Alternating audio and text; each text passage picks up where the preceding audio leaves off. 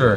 Um, I think uh, I watch them all the time. You know, you follow up on, on how they're doing. And uh, you know, I was telling someone uh, a few nights ago when Chicago were playing Boston. It was the first time I was rooting for for Panarin, and uh, you know, he, he, was on fire. So. Uh, you know, it, uh, it is exciting to see all the rookies and, and, how well they're doing. It was pretty cool seeing Noah uh, scoring that goal. I know him pretty well, so I'm sure he's pumped to, to play in his hometown and, and score. So yeah, it's awesome to see all the there.